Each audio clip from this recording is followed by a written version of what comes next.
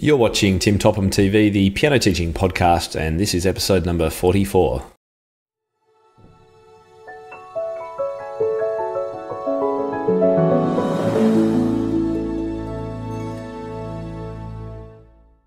Hi, everyone, and thanks so much for tuning in to today's episode. It is great to be a part of your workout, your drive to work, your uh, where else might you be? Um, cleaning the house. I know somebody uh, told me the other day that they clean the house while they listen to podcasts. I think it's a fantastic idea. Uh, whatever it is you're doing, thank you so much for tuning in to listen to me. I really do appreciate it, and I hope that you find it really, really helpful. Today, we're talking about AMEB teaching diplomas. Now, the AMEB, as you may have realised from one of our previous episodes, is the Australian Music Examination Board. Um, and we had a look at what they do back in episode number 36, which was all about the AMEB. But today we're talking about the teaching diplomas that they offer, and uh, we're going to get into some real depth about that because I've actually managed to find the person who wrote the syllabus, uh, and she's now a dear friend of mine, and she lives over in Perth, uh, in Western Australia, uh, and I was very lucky to catch up with her when I was over there for a conference just a couple of weeks ago. Anyway, I'm going to talk more about uh, my guest and the episode in just a moment, but before we do that, I do want to thank today's sponsor, which is Forte School of Music.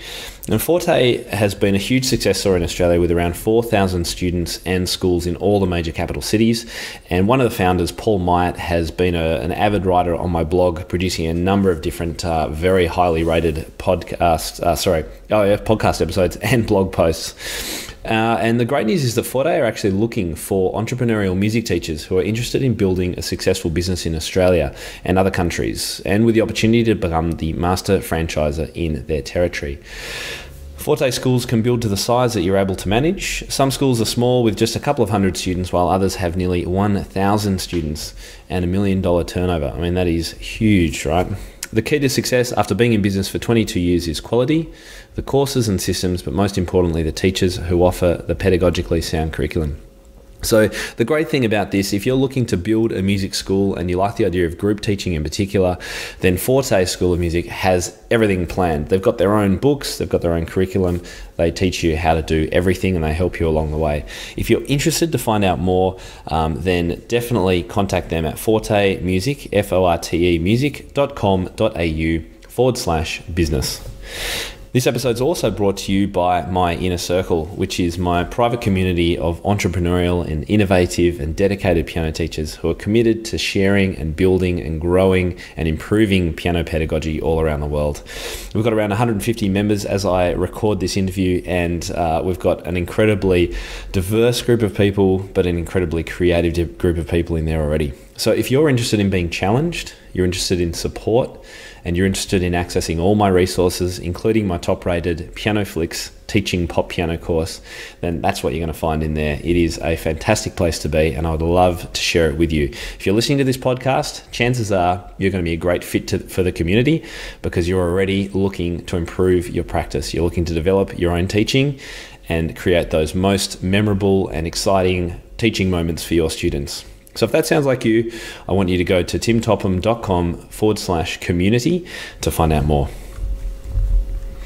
Okay, so today's guest is Tess Hill. Tess Hill is one of the most well known people in piano pedagogy in Perth, in Western Australia, and for very good reason. She's been doing it for a long time and she's incredibly talented and skilled at what she does. After childhood music education in England and Perth and teacher training at Claremont Teachers College, Tess gained extensive experience in primary, secondary, special needs, and TEE, that's the Year 12 level education. Her background in psychology and remedial work has equipped her with particular expertise in addressing individual needs in the learning process. And this is something that I know that she is brilliant at. And she teaches all her students from her own curriculum resources that she's developed herself.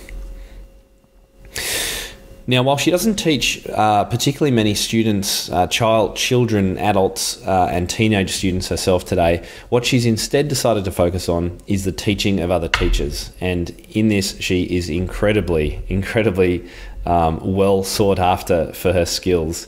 Um, and the way that she's able to share her passion and love for teaching and the way she teaches with other teachers is just extraordinary. Um, and you've actually met one of her teachers in episode number 34, where we were talking about building a piano community with Laura Kaha. And I'm going to add to this podcast a little testimonial from Laura about her experience of completing an AMEB teaching diploma and what that meant for her, what she gained from it. I'll pop that on just before we have a chat to Tess in this interview. So Tess uh, lives over down in Mandurah, which is about an hour south of Perth. Uh, as I say, I went to visit her. She um, has this beautiful house um, and a lovely husband, Bevan, and they really looked after me when I went down to visit them recently. So it was great to catch up with her um, and find out a little bit more about what she's been doing and see her place, her studio in action. But what you're going to find out today is all about this concept of the teaching diploma, the AT MUS A, as it's called over here in Australia, and the CT MUS A, which Tess recommends people consider doing before the associate, the diploma level. Now, if you're not in Australia and therefore aren't looking to do uh, a teaching diploma of this kind, can I recommend that you still listen to this episode? Because a lot of what we talk about is obviously pedagogically related, but also could very much enhance any kind of teaching diploma that you end up might end up doing. And of course, we all know that uh, the piano teaching community is unregulated. There's no real barriers to entry. You don't have to complete any kind of courses. Um, and so it's often hard to find out or work out what's best to do. So if you're looking for that next level of training, uh, and this sounds interesting, then make sure you tune in. Tess is a fabulous person to speak to, and I really enjoyed this interview. Without further ado, here is my interview with Tess Hill. Hi, my name is Laura Kaha. I'm a piano teacher based in Sydney. I run my private teaching studio called Music and Me and teach 70 wonderful students ranging from 3 to 17 years old. My teaching journey began 12 years ago as a result of a lost poker game. I found myself applying for a piano teaching job from a newspaper advertisement, and as soon as my mother found out I was about to teach a child, she called up my teacher, Tess Hill, and who straight away said, Right, let's get on to your seventh grade practical and teach you how to be a teacher, which was the beginning of my CTMusA and ATMusA journey. Being Mrs. Hill's student from a young age, I was exposed to and had always been surrounded by teachers who were studying their CTMusA and ATMusA.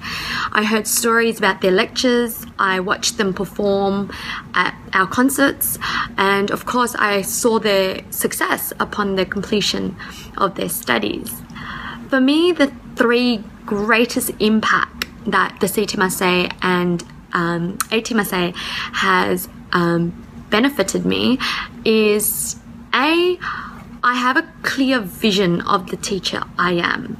Um, from day dot, I'm clear on my philosophy, um, who I want to teach, why I want to teach, um, what I want to teach, and how I want to teach, which is, um, of course, the first assignment that you um, have to complete in both CTMusA and ATMusA. Um, secondly, I think both studies have given me so much confidence in um, what I do um, because I gained so much knowledge through my studies. Um, and lastly, I think studying both um, have really made me want to continue learning um, and, and be a learner. Um, and my teacher always said to me, you know, a teacher in the end is always a learner. Um, the CT um, took me two years. Um, here's my resource file actually. Um, and during that time, I was first year uni. Um, I was working as an assistant accountant. I had a little shop with my best friend, um, and I was doing my seventh grade practical as well as my grade four theory. Uh, my ATMusA took me a year and a half after that, and here's my folio um, and my practical exam file. Um, and during that time, I was older. I had the foundation from the CTMusA, and um, I was managing um, my parents' news agency. I was teaching uh, 40 students by then, um, and I was organizing a wedding, my wedding. So, where did I find the time? Um, I'm not much of a sleeper, so I used to do my readings and my studies during early hours. Um, for me, worked really well because I found the house to be so peaceful. Everybody else was asleep, and I had I was in my own little study bubble. Um, but I think if you want to do something, I think you always find a way um, in completing it. it. Might take longer than usual. Um, I think I probably could have um, done the CTMusA and ATMusA both in one year, but due to my other commitments, um, it took me longer. Um, why did I do both? I think I had such a wonderful experience with the CTMusA and it inspired me to continue my studies. I was so fascinated by um, the whole psychology aspect of learning and child development by the end of the CTMusA that it was a no brainer for me to continue to the ATMusA and you get exposed to child development um, in ATMusA. Okay, Tess, thank you so much for being with us today on the show. You're very welcome. Let's get straight into it. But uh, before we kind of dive into the questions about um, these teaching diplomas, maybe can you tell us just a little bit about your current teaching role for 2016? What kind of things are you actually doing? Well, I've got a, a few students, upper grade students after school. I'm gradually tapering off those but I've got a number of pedagogy students, two at the moment, who are uh, actually actively working on the CTMusA. I have a number of casual teachers who come along just for the occasional lesson. Sometimes they're past students, CT MUS or AT MUS students who um, would like some help. They're suddenly teaching a grade six or a grade seven student and they want some ideas of extra lists or a program and or, the, or they've learned the pieces themselves. They want to come along and have a look at the difficulties and how to overcome them. That's the sort of thing I'm doing. Okay. As well as examining and examining with the AMEB and on the advisory committee and in contact with the Federal Office about pedagogy qualifications in Australia and just the odd thing like that. Mm, no, yeah, it sounds it sounds very busy. I don't know how you do it all, um, but look, let's talk about these diplomas because you've already used a few acronyms which people might not be familiar with: CTMusA, LT well, all these all these things. So, we're talking about teaching diplomas. What are they, um, and how are they relevant to the teachers who are going to be watching? Well, um, the Australian Music Exams Board, abbreviated to the AMEB, has three pedagogy qualifications. There's a certificate a diploma, and a licentiate, shortened to Certificate Teacher of Music Australia, CTMusA, Associate Diploma, Music Teacher Australia, um, AT And Licentiate Teacher Music Australia, LTMusA. Great, and they contrast just by one letter difference with the performance diplomas, obviously. So we you could get a performance diploma is an AMusA. This is an ATMusA. So people might have in fact seen it after people's names and not known what it means. So there we go. That's the teaching diplomas offered by the AMEB. So how do you how do you see? You've, you've worked for a long time um, in working with diplomas, you've helped put together the curriculum for them, um, so you've got a wealth of knowledge. How do you see this qualification benefiting teachers? Well, let me just make a slight correction. Um, it's not a curriculum, it's an assessment. The CTMusA, AT and LT are assessments of the AMEB. They are not a teaching curriculum or a teaching course. They are set out very clearly in the syllabus as to what is required, and any mentoring teacher or supervising teacher would use that as a curriculum to build to build a curriculum on what is set out for what is required for each of the assessments. Okay, and I'd see any of the grades in a similar light. To be honest, I, I don't use them as curriculum, and I discourage teachers from doing the same as I'm sure you do. It yes. is it is an assessment. It's a guide uh, but it certainly shouldn't be a curriculum. So, in what ways do, do the teachers get benefit from the ones you've seen? Because you've taken a number of teachers through these certificates and diplomas. How do you see it benefiting their teaching? Well, a teacher who has um, done some research in the field of pedagogy and maybe done a lot of work on textbooks, online subscriptions, all those sorts of things to expand their knowledge not only of teaching but of children, particularly, or how people learn. It gives the teacher much more um, confidence in a wide area. Um, and of course, if the teacher is confident, they will teach well and the student will be happy.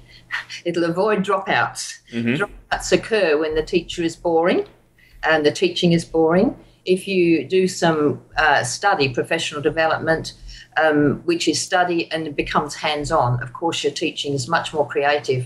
And the eye, the more more you read, the more you go online to see what other people do. Um, join some of the like the Australasian Piano Teachers Forum, those sorts of things. It encourages you to try new ideas, no matter how long you've been teaching. Mm. So uh, certainly, uh, given that it is an assessment run by the AMEB, it's not encouraging teachers to only teach to an exam assessment. Would that be a fair statement? Absolutely not. No. Particularly the CTMusA, which is why it's really important to attempt the CTMusA before you try to attempt the ATMusA. Yeah, well, and that's good because that's quite a difference, obviously, from the performance side. So we'll get we'll talk a little bit more about that in a moment. What would you say for teachers who already have perhaps a bachelor of music um, or, for example, their AMUS is it necessary, do you think, to take that extra step? You know, or sorry, I know it's not obviously required, but would you feel it's a good idea? Well, the, the BMUS and the um, AMUS are performance qualifications. Mm. A TMUS or CTMUS or LTMUS are pedagogy qualifications. Too many teachers think that if they can play, if they can do something, they can teach teaching is an art, but it also has to be learned.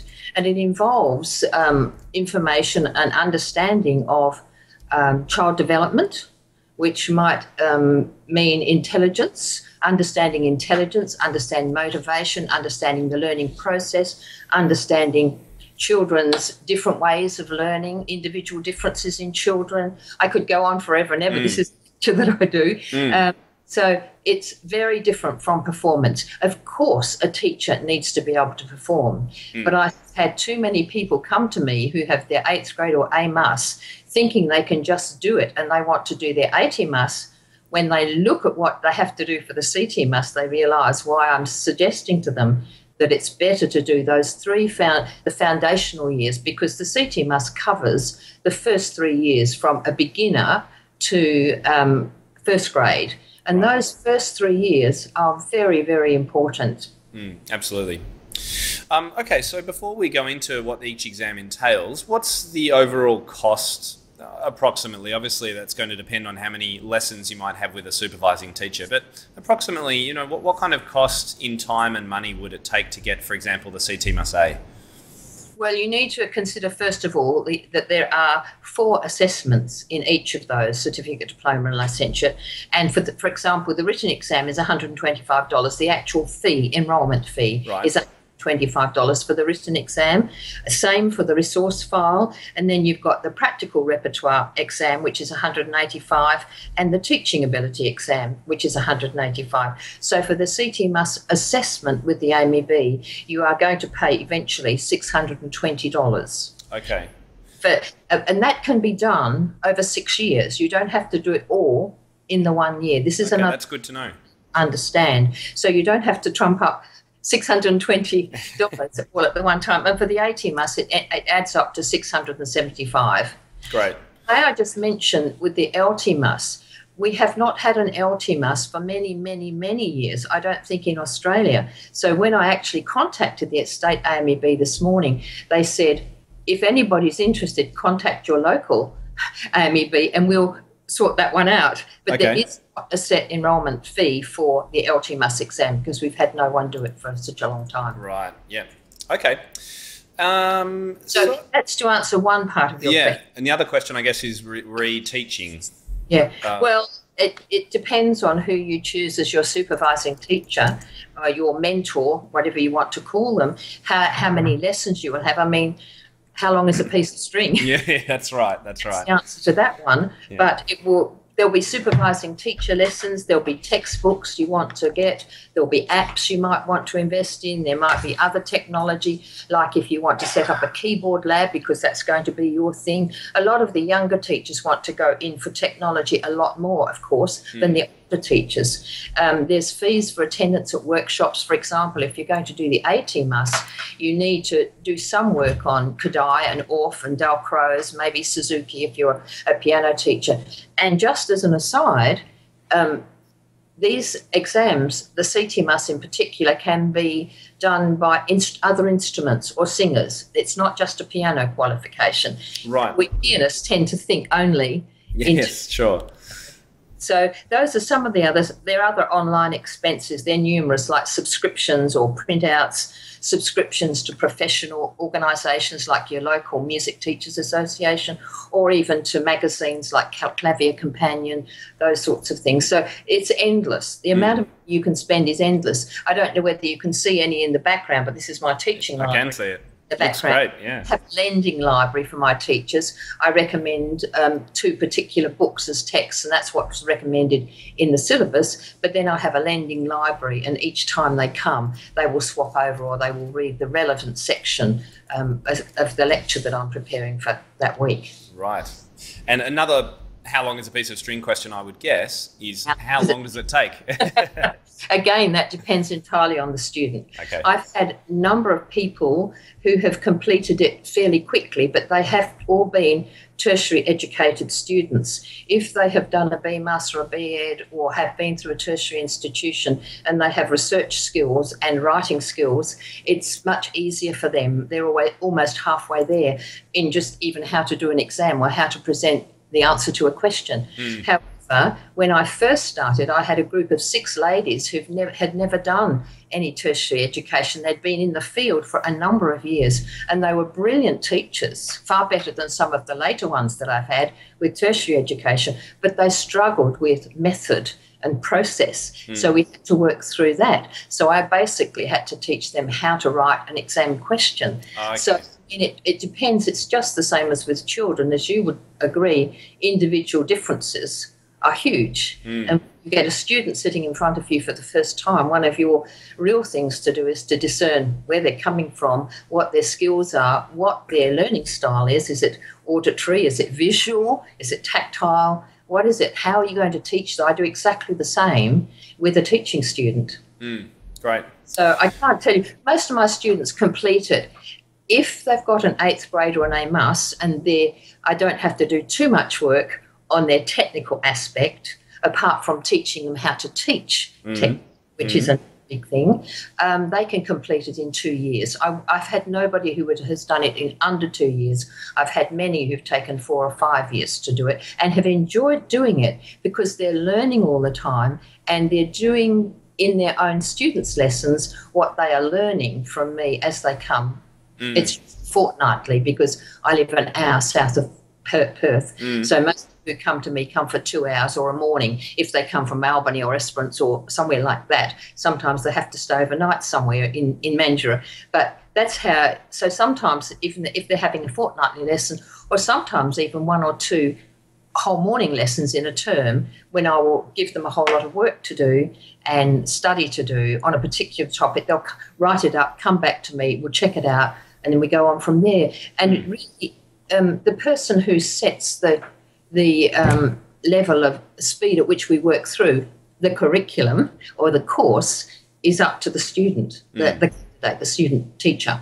I love this idea of you. You know, you, you go to you check in with your, your teacher. So you and you, for example, you learn some new skills, you get some guidance, and then you go and try it out on your students. So Absolutely. you know, and that's the best way to learn. Obviously, is to then go and try and teach these things. Um, and while I haven't done the, the certificate of teaching, uh, when I did my AMusA, I studied with a teacher, and I was able to do the same kind of things because the practice tips she was teaching me, I was able to pass on. So, gosh, I would encourage any teacher to even if they don't do the the certificate, for example, of, of teaching, to go and have some lessons with a more experienced teacher. It is so fulfilling. I would underline that, how important it is. Anyway, anytime I get the opportunity to go and listen to a teacher and watch a teacher, I jump at it. And I've been teaching since 1961. I was, Don't, don't give too much away. I was a school teacher, and I actually, when I really learned to teach, was when I taught special ed students, like mentally physically handicapped. That's when I really learned how to teach, breaking everything down to the lowest possible um, item to be able to present um, to the students so they could understand it. Gosh, that would have been a challenge, I'm sure. okay, so we've got the three levels um, certificate, associate, licentiate. Um, you've mentioned you highly recommend students doing certificate first. Is, Yes. it, is that actually a prerequisite? I mean, or if they wanted to, you know, not go go against your advice, could they actually go for one of the higher levels? I just, um, I'm glad you mentioned the word prerequisite because in the CTMusA and the ATMusA, there are no prerequisites, they are recommendations. Right. So, although the prerequisite, you might say, is a recommendation for the CTMUS to do sixth grade, Okay. and with um, ATMusA, it's eighth grade. However, with licentiate, they are prerequisites. So um, the recommendation is in the syllabus is for sixth grade for the CTMUS, and for um, ATMUS, it's eighth grade. And I that would only seem reasonable, I would have thought, if you're going to be teaching up to those levels. Correct. Yeah. But the CTMUS gives you um, the um, achievement to be able to do um, beginner year um, and then prelim year and first grade year. So it's the first three years. The ATMUS goes from the beginner right through to fourth grade, which is was actually asked to write a pre certificate to the diploma because that's huge. The ATMUS from beginner, as you can imagine, the repertoire from beginner to fourth grade is absolute. You have 25 pieces to prepare for the exam, and you don't know which ones the examiner is going to ask you. And not only do you have to play them, you have to cite the difficulties and the strategies you would use to overcome those difficulties in the exam.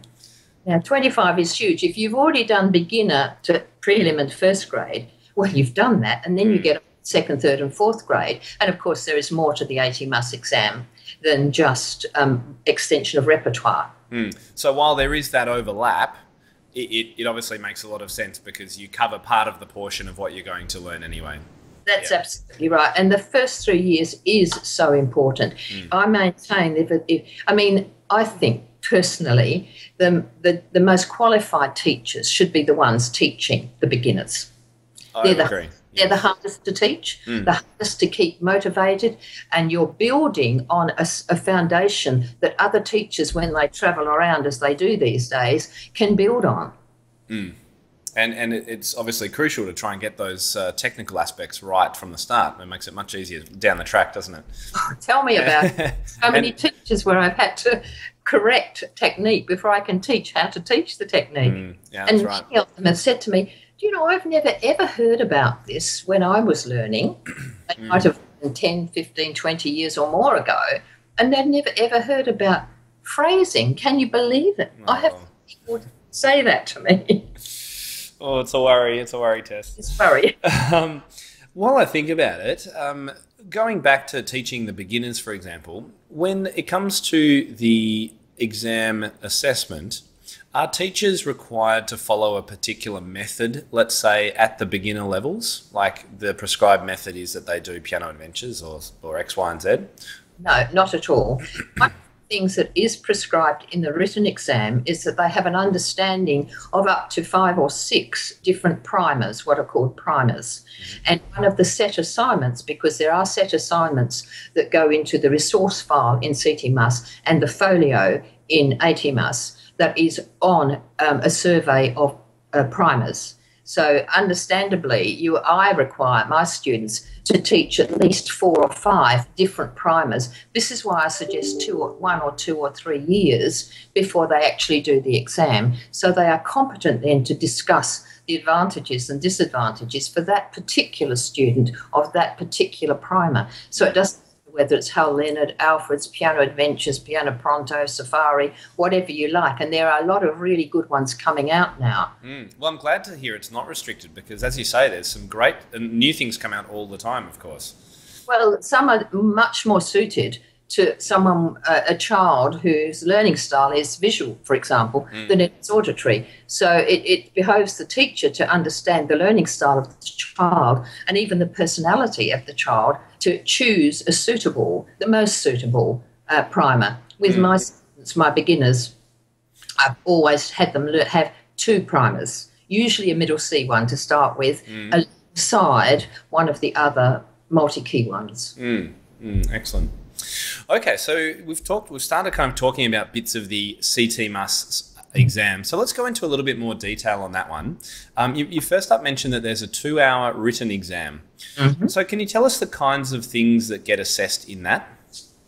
Well, there are a number of things assessed in. They're all listed in okay. the syllabus. Great. Even in the written exam, the questions are actually written down. The topics of the questions. Okay. So, so we'll put a link to that on, on the show notes, definitely. Yep. That would be a good idea. And actually, in the syllabus, it tells you that the first question is on child development, and there are there are a number of four four topics there, and you'll be asked in the exam on two of them. Okay. And the sort of topics are the development of independence of the child, because um, we need to develop the children's own in, uh, independence as a learner. Um, something on the in, importance of individual needs, which I'm really, really um, strong on that one, and the role of relationships in teaching. Mm, I think this is really important the teacher, the student, and the parent. And then there's the ages and stages in child development. I must say that the mums, some of the older ones, and a lot of my girls in their 30s have got young children, and they have a much better understanding of child development and the difference between boys and girls. Mm. Mm. it's really very interesting over the years that the students I've had, I've learned a lot from my students. Mm. I, li- I like to do the same. Yeah. The second question is actually the pedagogy topics, and that um, you've got to have an understanding of the knowledge of various strategies uh, in aural training, tone, touch, and technique, note reading, sight reading, memorization, all those sorts of things. Right. So that's, that's the second question. The third question is on repertoire programming, and that's where you might be asked to um, set out a program for a preliminary or a beginner. That's where you would use your knowledge of your primers that you've studied and that you've used, or set up, prepare a, a teaching, um, an exam program for a, a, good grade one student or a weak preliminary student, that sort of thing. So that's in the um, written exam. Then you've also got the presentation of a resource file, which you can do over a period of time. And that's really one of the most essential um, items, I think, um, assessments in the whole CTMusA. It's called a folio in the ATMusA. Okay, sorry, just before you go on to that, just back to the exam, you said that, that there were the four questions. And you prepare for all four, but you only get asked about two two of the topics. Was that right? Yeah, there's actually two questions, and you get on child development you've got these all these issues like child development, importance of individual needs, role of relationships. There's actually one, two, three, four, five, and you only get asked on two in the exam, but you don't know which two. Okay, I understand. Okay. And then in the pedagogy question, there are 12 topics, and you get asked, um, there are four you have to answer. Two are your own choice, and two are from a list from there. Right. So you can't skip anything. I, I, I wrote this syllabus and wrote this up. so I was determined that be- teachers of beginners and prelim in grade one would do it thoroughly. Yeah, I can I can tell that now. Um, and look, and that's why I was so pleased to have you on the podcast because to get the actual person that wrote the syllabus, this is you know this is what we need to to hear. So, all right, so let's go into the resource file. Tell us a little bit that, about that, or the folio, as you say, it's called for the associate. Just harking back for a moment to what you just said. Mm I wrote the syllabus from a practical viewpoint. Um, I actually showed it to several people, one of them being um, a relative who's a professor of education. And he read it through and he said to me, I can't believe this. He said, You have written from a practical point of view. He said, Most syllabuses are written from a theoretical point of view by somebody who's got there, and they're not quite understandable by the people who are just coming in. So I have to emphasize that the CT CTMusA is written very much from what you are doing tomorrow with your student. Right. So you might have a problem with a relationship with a parent. So what you're studying today may help you with that. Or you may have a problem with a child who can't tuck their thumb under. What you ask me next next session what you want to teach. Mm. So not do I teach a course? But in mentoring, I ask the student, the teacher, the candidate, I should say, um, what do you want to deal with? In fact, they email me couple of days before they come, usually the good students, and say, I've got this list of questions I'm going to ask you. Can you fit these in as well as whatever else you were going to do? Oh, that's great. That's great. It's, a, it's very much a practical um, syllabus. And that is Uh, so refreshing. It's so refreshing, Tess. It's, it's, and that's how it should be. Why, you know, why talk theory if people can't put it into practice the next day? That's how I go about all my uh, podcasts, for that matter, my podcasts and my writing. Yeah, really we important. much come from a practical aspect. Mm. We talk about the resource file with CTMusA. What it needs to be is, is a, a series of um, groupings of topics. Um, and it's listed what topics you've got to have. It actually is there. So you can put a few um, seminars or courses you've done, just showing the examiner what your spread of study has been, your spread of experience has been, and how your philosophy of teaching, which you're going to talk about in your practical exam when he questions you after you've played all your pieces, that is expressed. If you believe that children are important, they're individuals, then you must show in the resource file how you would treat individuals, how you would treat a bright student, how you would treat a weak student, and so on. So the resource file is um, it's the thing that causes most CT CTMusA students the most angst because it's very revelatory of where they're coming from and it shows very quickly if they haven't actually done their homework in terms of assessing their own students because it's a reflection of what they're doing in the studio. Okay, it does say have some summaries of a text. Um, I get my teachers to read through maybe two or three uh, of my library books, say on the teaching of scales.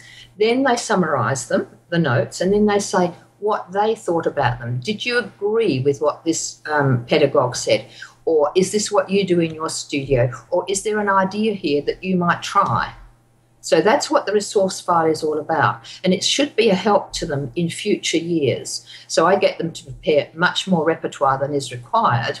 And they show it to me and they play it to me, and we talk about the teaching difficulties and they put that in there. But that's talking about how a supervising teacher might um, about teaching for the students. Uh, that sounds like it could run to quite a number of pages.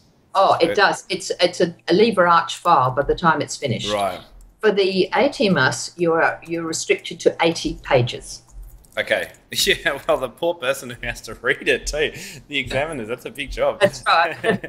Although the examiners do find them very interesting. And what you do is you submit your resource file, or in the ATMusA, the, the folio, before you do your practical exam. right. So those two go together in actual fact, although you can do it over six years. You need to submit your resource file before you do the practical exam because the examiner is going to read through that. And it used to, it needs to be two or three weeks before. Mm-hmm. That the what I have found is that the examiner then, when the student has appeared for the practical exam, after that they are questioned then on what's in their resource file. And you see all these little tabs, these stickers, and the examiner says, I wanted to ask you about what you meant just here. Or I see you have group lessons in your studio. Would you like to explain how you do this and why you do this? And uh, there's not very long, but the student who is passionate about group lessons there, usually they, the examiner picks up something that's slightly different from what is the norm in and, uh, for, and for this reason, I suggest that not only do students include um, what's required in the CTMusA um, resource file, but I say choose something that's your hot button. You know, technology is, or if What's your passion? Yeah. what's your passion because that's what you're going to t- talk about most passionately and convince the examiner and i'll guarantee that's what they'll pick up on i would as Yes. i'm examining anyway Yeah. So you, you examine this as well. Yes. It must be a very specialized. I can't imagine there's too many examiners who are able to do this. no all the examiners who do it here are school teachers Right. Okay. Yeah. examine my students have all been school teachers Yeah. because we've got the pedagogy background. Doesn't need to say that's the only people, Hmm. but in general general terms, um, I mean, I was training school teachers long before I was training music teachers in the in the state school system. Right. So I've got you know long way back lots of um, ideas about how to do this. Mm. Okay, so we've covered the, the written exam, the resource file or the folio, as it's called in later exams. Now the practical exam. So you've got two parts. Yes. The repertoire performance program. So I'm picturing the student just rocking up almost like an AMusA exam and performing music at the level at which they're planning to teach. That's correct. They one prelim program and one first grade program. However, it needs to be chosen carefully, and we discuss the factors in which you have to consider in choosing a preliminary program. For example, you don't want all slow pieces, you don't want all fast pieces, you don't all want all pieces in 4 4 time, and you don't want them all in C major. This is difficult sometimes, sometimes because I also wrote the with Sue Thompson the uh, syllabus for prelim to grade four right. many months ago, and it's just been updated a bit. But um, there are very few pieces that are not in C major or A minor in preliminary exams, so it's hard, you know. Obviously, but it's but more an awareness, isn't it, of variety? I guess. Yeah, and yeah. showing the examiner um, all the skills that you have taught and that the student can actually perform. Mm. Um, the student has learned, and you do that whether you were Mind you, a lot of teachers, when they're sending students for prelim and grade one, just pick the three easiest pieces or the three pieces that happen to be in the number 16 series or whatever. Of course, but yeah. Do go through, um, you know, how to choose a program mm. for them and for first grade. So it's just, it, you just play straight through. But of course, you're playing them at eighth grade or AMusA level. You're playing them at a teaching level. You're not playing as a prelim or a first grade student. Yes. But after the, that exam, you are then asked what are the difficulties in those pieces. Why did you choose study in A minor and not such such and such else? And in if if you're choosing raindrops, how would you approach the teaching of staccato? Um, so you're going to be asked pedagogy questions about those particular pieces. And while you're sitting at the piano still, and you can demonstrate things, etc. That's right. Mm. Uh, and of course, in, in the AMusA, ATMusA, you may well be asked something about the form, and because you're going up to grade four, something about the, the keys, the change of keys, all the all the general knowledge that's required for whatever grade is also required, but then you've got to know how to teach it. Mm. And you questions on that as well. Whether it's general knowledge, whether it's the key signature, time signature, why you chose the piece, how you'd go about teaching, what are the difficulties of that piece, how would you go about teaching that ornament, and um, and so on. Of yeah. course, in the ATMusA, there is a lot more expected in point of view of style from Baroque through classical, romantic, 20th century, and so on. Um, you would, don't have an awful lot of time to talk about those sorts of things in the CTMusA. Although, of course, when you're teaching, if you're teaching a little Bach minuet, you're going to teach it in true Baroque style, and it's not all going to be legato, is it? Mm that's exactly right. And I, I think, uh, I mean, these, these are great. You're just giving us some great tips for any teachers who send students for exams about ways to choose exam pieces. Sorry? I could talk forever about that. I well, have been in a country country town where I've had 12 students do their preliminary exam and they've played the same program and they've had the same mistake. The teacher has taught a dotted rhythm wrongly. Mm. How do you say 12 times something different? How do you, as a teacher, teach the same thing 12 times for the period of months? I, I just don't understand it. Cannot imagine. it doesn't happen so much now in that we don't have whole studios coming through as much. Now you can book in a, in Western Australia, you can say basically what week you want to go. That You don't you don't don't have just examinations twice a year like some of the um, other um, examiners right. boards. Right. Mm. Uh, do, you, do you examine practical students yes. also? Yes. Yeah. Uh, I imagine uh, I've often wondered as an examiner, do you still get the same pieces even from different teachers? I imagine some stu- some pieces are more popular than others, right? Oh, very much so. Very yeah. much. Yeah. I mean, a lot of Elissa Milnes are very popular, and so I've taught a lot of Sonny Chua. Yeah. But the books in particular love Sonny Chua, of course. Mm. I do encourage students to learn Australian, and you'll see there even in the um, in the syllabus, it does recommend that you include some of the current pieces from the, the AMEB books, and that you include an Australian composer. Mm. So that's it keeps it a broad repertoire. Mm. And no doubt, no doubt you encourage your teachers to use the manual list too. I mean, there's oh, such great music there. Really used, to be honest with you, except where we're required to what's in the book because I can tell you now which bar on which piece you're going to have a problem. That's right. And look, for those of you who aren't familiar with the Australian uh, exam system, we're talking the manual list is a list of pieces that can be examined but aren't in the current syllabus books versus the pieces that are produced in books every sort of, what, five or six years. Oh, um, more often than that. More often, sorry, two or three, is it? I, I can't remember actually. Yeah, anyway. So, uh, that yeah. three years we haven't. Okay, so so that's the kind of four steps: the exam, the written exam, the resource file, and then the two parts of the practical exam. I guess they're the they're the, the steps of assessment. We didn't really talk about the teaching ability, that section. So that's, the, the practical, the teaching what assessment. Yes. Teaching exam. It's an assessment of the candidate's teaching ability. Okay. So you bring one of your own students. And right. I suggest bring one of your best students, the one that you relate to best. Don't necessarily need to be the best pianist, but the one that you relate to best. Right. The other thing that I need to say is that usually um, a, a- a- teacher candidate will bring in a student live.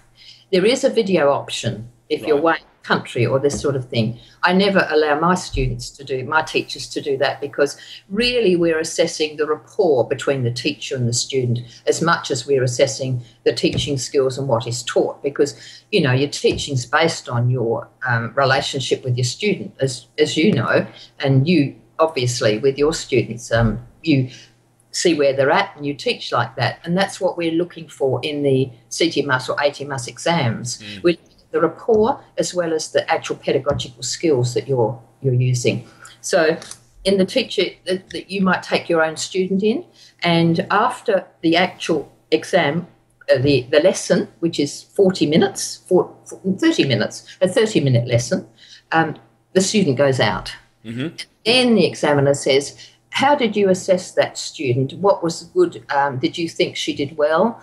Um, would you like to comment on what you think are her weaknesses? Or actually, you say she's got a rhythmic weakness. How are you addressing that rhythmic weakness? What would you do in the next lesson? What did you do in the previous lesson? What would you expect to um, do with that student but between now and the end of the term and the end of the year? Mm. Uh, It's um, it's quite a, a quite um, Comprehensive.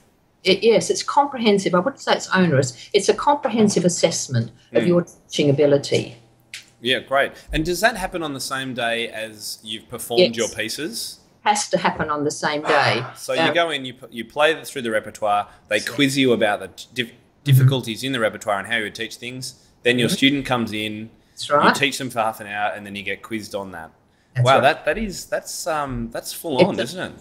Yes. Um, I have sometimes requested, particularly if a student has come from the country, that they will be, I would um, do the teaching ability exam first. My students could do the teaching and, and then do the practical afterwards. But that's between you and your state office and how they can handle that. But the examiner or examiners are there that day, so both practical ex- sections of the practical exam have to be done on the same day. Right. Wow, that, that would be a tiring, that would be an exhausting day, I bet.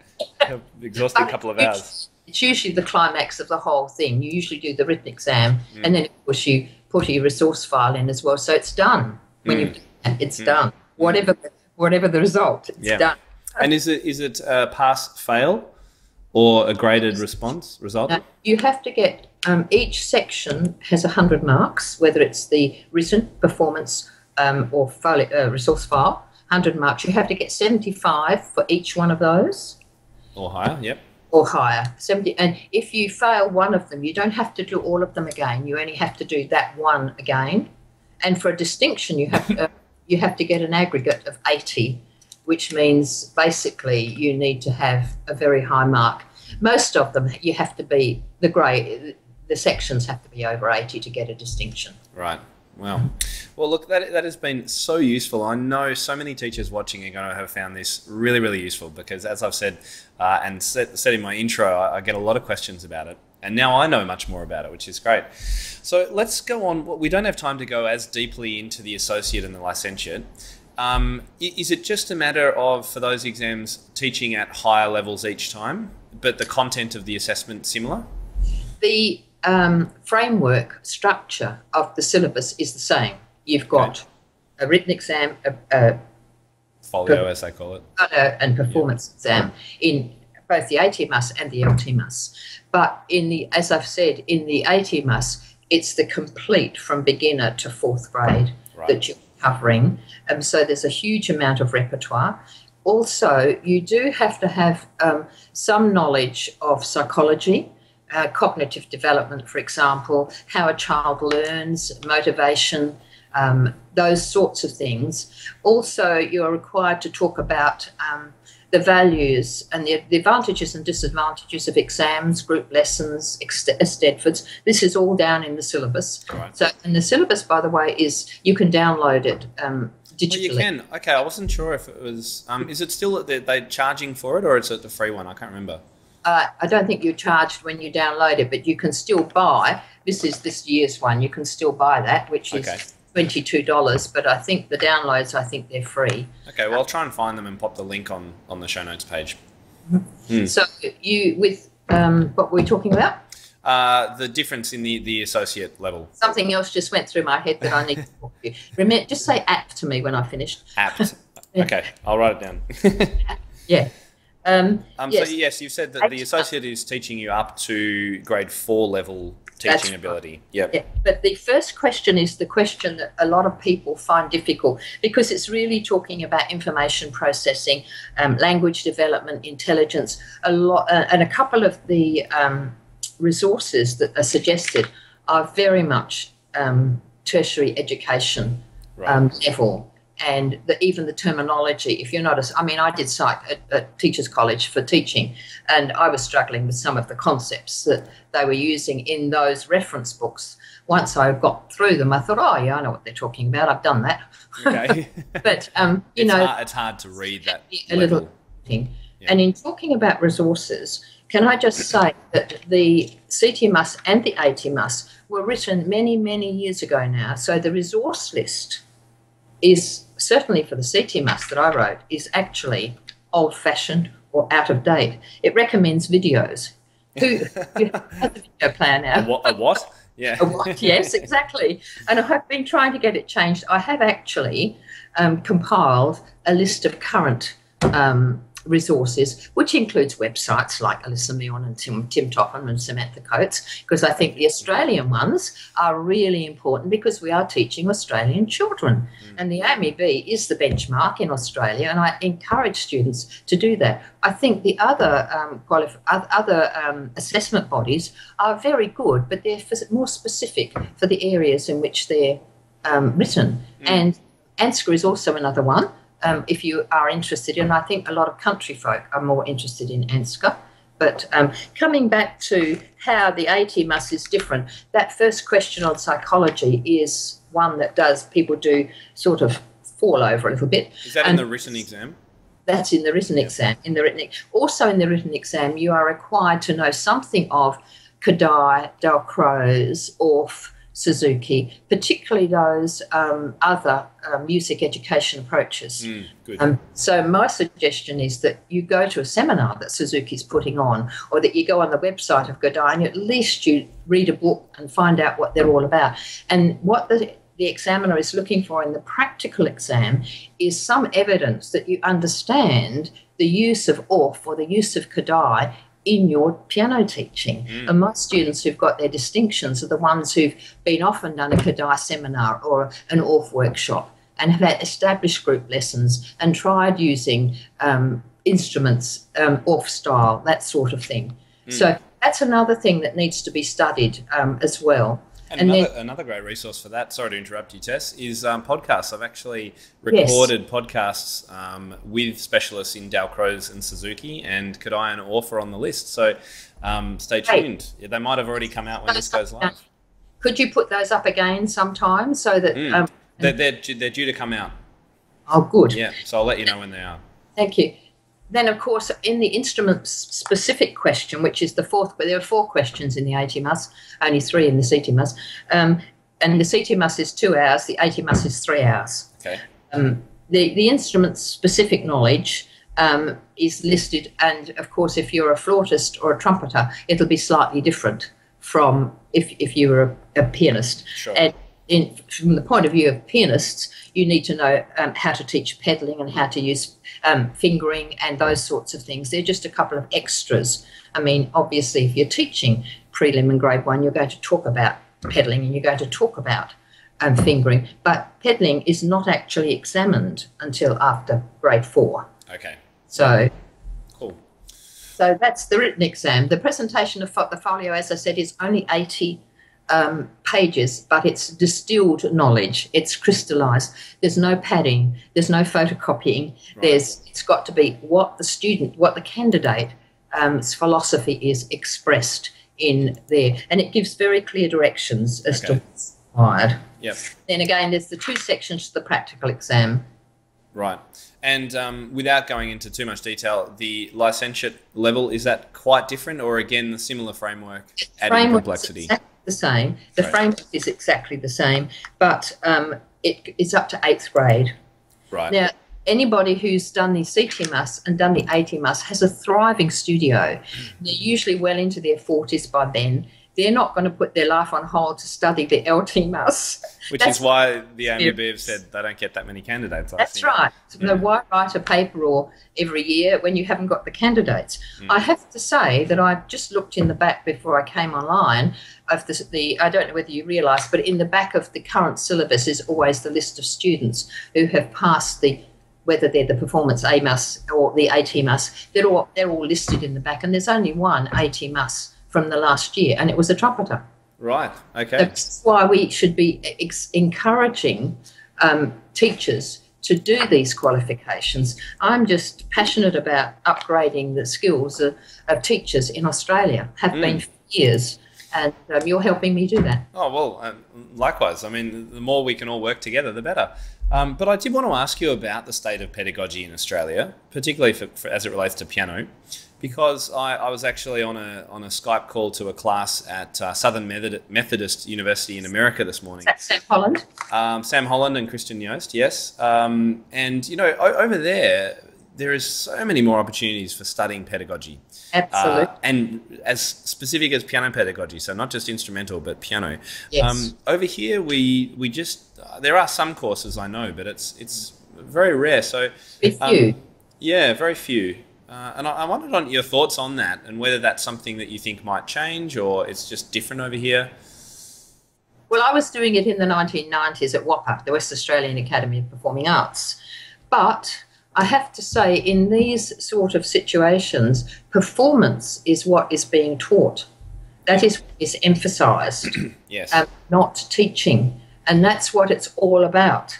So, which doesn't make sense to me, given that there are so few performance jobs out in the world.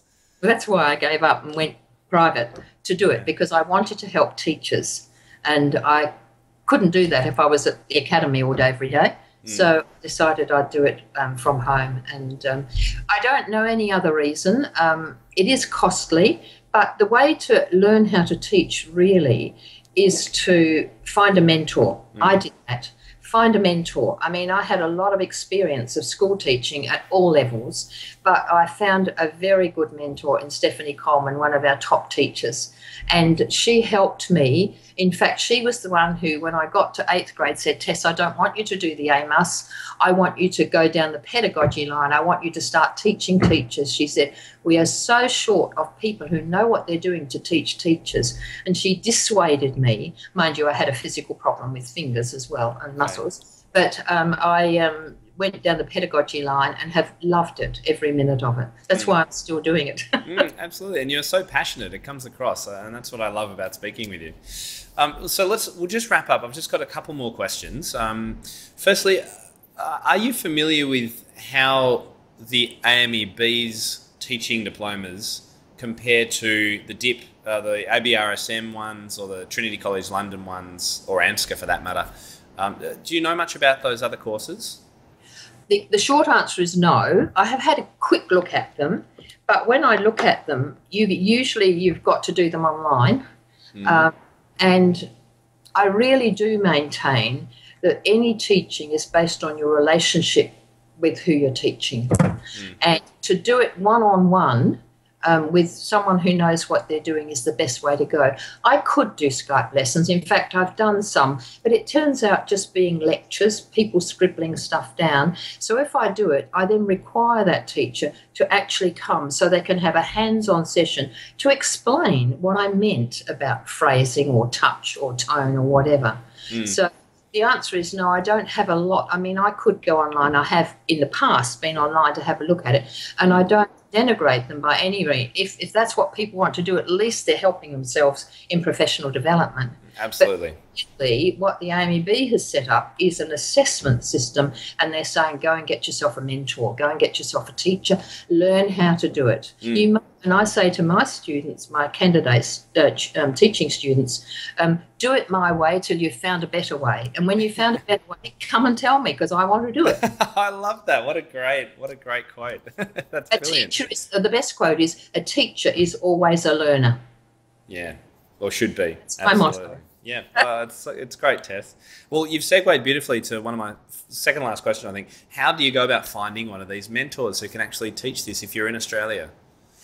Now, that's the question. Because it's pretty crucial, obviously. I don't know anybody else actually in WA who is doing what I'm doing. There are a couple of teachers who will put you through the CTMusA or ATMusA, but they'll say, this is what you do, this is the curriculum, this is the syllabus, go through, learn that, come back in six months' time or three months and I'll have a look and see. What I'm doing is, as I would do as a teacher's college lecturer, I'm mm. a teacher, I'm not a lecturer. I wait for the penny to drop before I present the next fact. Right. And okay. I need to see it in action. I watch my teachers teach, I help them, I go out to their studios, this sort of thing. So it's very hands on. You've got to be committed you don't make any money. I don't know any rich piano teachers, least of all people who teach pedagogy, because you give hours more than you would normally in normal, teach, normal teaching situation. There's rarely a day goes past when I don't have an email from one of my teachers saying, this is the situation, what do I do? Very much like the questions you get on Facebook. Mm, mm. On, um, you know, art of piano pedagogy or the Australasian piano teachers mm. forum. We, we need to find a way to clone you, Tess. That's all we need to do. a few people have said that. um, all right. Uh, I think that's all my. Oh, you mentioned to remind you about the word apt.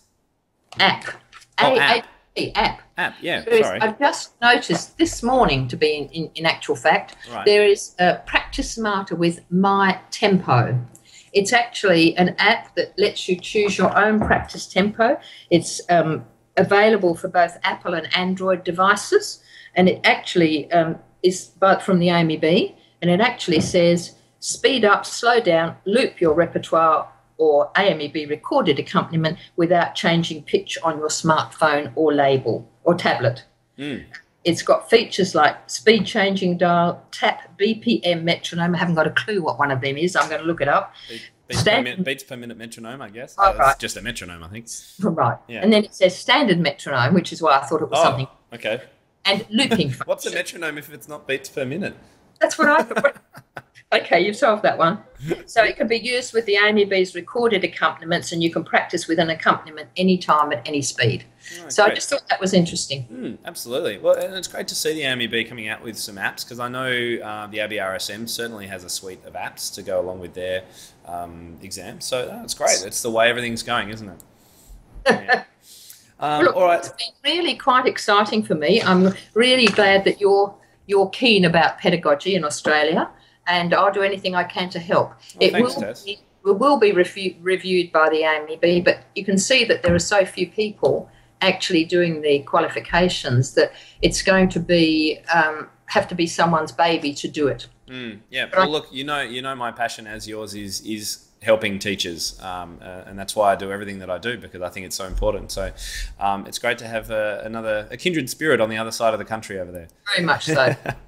All right, Tess. Now, are you happy if um, if people uh, want to ask a question? I know you're very very busy, but um, if there's a question that you could answer, would I just be able to forward that to you if they leave it on the show notes page? That's a good idea. That would that would be great because I know there might well be some some questions that come out of it.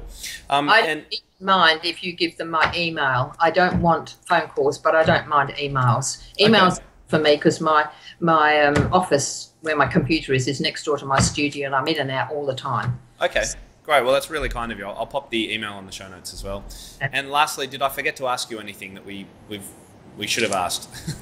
I'll probably think of a hundred things when we've offline, but right at the moment, I can't think of anything in particular. That's great. That's great. Oh well, look, thank you so much again for your time, Tess. I really do appreciate it, um, and I know a whole lot of teachers will appreciate it too. So thank you.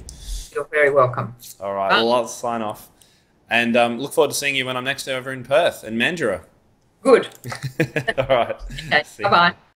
If the idea of a piano teachers community where you get to access the best educational resources, rub shoulders with expert teachers from around the world, and have immediate access to feedback for any of your questions, then Inner Circle membership is for you. The Inner Circle is my private community of piano teachers from across the globe who share a commitment to creating and delivering the most inspiring, modern, and progressive learning experiences for their students. Membership is now open, so head to timtopham.com forward slash community to find out more and get involved today. I can't wait to see you on the inside.